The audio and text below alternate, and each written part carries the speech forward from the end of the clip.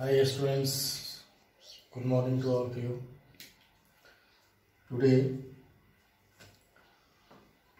I explain about male reproductive unit in flowering plant. So it is a stamen.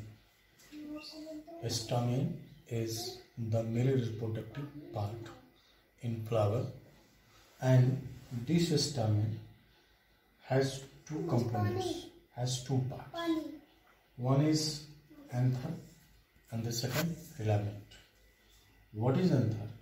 Anther is bilobed structure that is male reproductive part. And what is filament? Filament is a long part, cylinder part, either free or united. ये जुड़ा भी होता है या अलग भी होता है now we focus what is the structure of anther anther कैसा लगता है देखने में? एंथर की रचना कैसी होती है?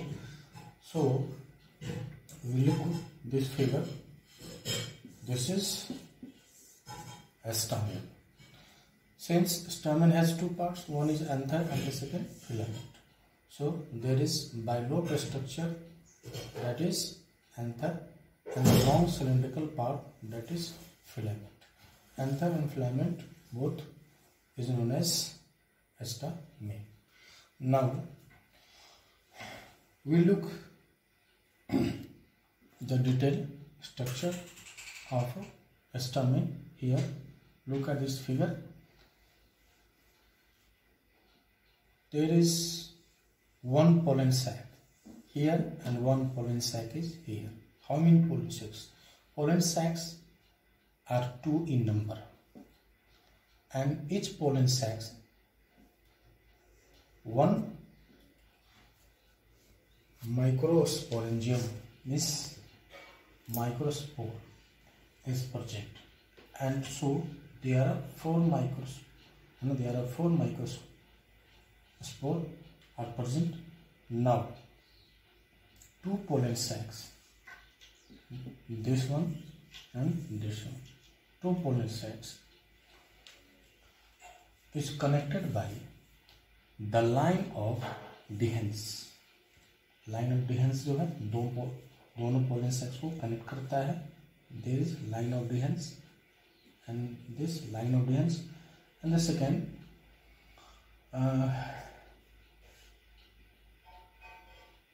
each pollen sac has two loop one is and one is how many two loop it means that anther is bilobed structure.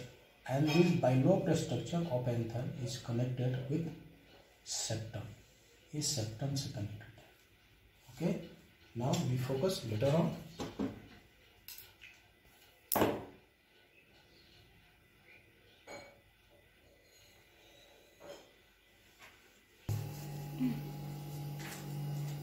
Now the students the next point structure of microsporangium just we have uh, talked in anther there are microsporangium that are four in numbers are present. So that's why we look structure of microsporangium each microsporangium is made up of four layers. One is epidermis second endothelium third middle layer and fourth and fourth teptum so that's here.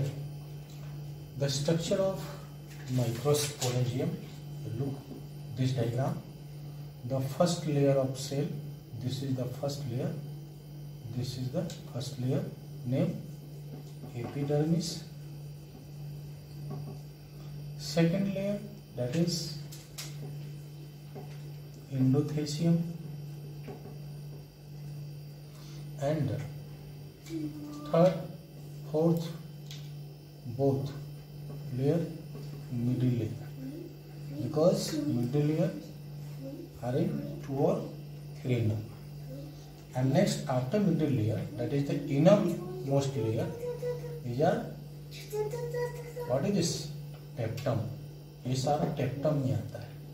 इसको लोग टेप्टम layer बोलते हैं, जो inner most layer and inside tapetum there are microspore sacs what are there are microspore ये all are microspore inside tapetum now also the second figure this is also sold the microsporangium this epidermis second layer endothelium third layer middle layer and here the rounder structure this is tectum and how many one two three four there are four tectum and on the above side ऊपर की ओर between है ना two tapetum there is connective layer connective layer या connective tissue so after observing both diagram we explain first epidermis. Epidermis is the outer layer of the microsporium which helps in the protection.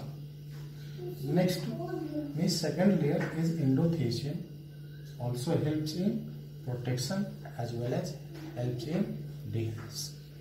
Middle layer that is the third layer, just below the endothelium.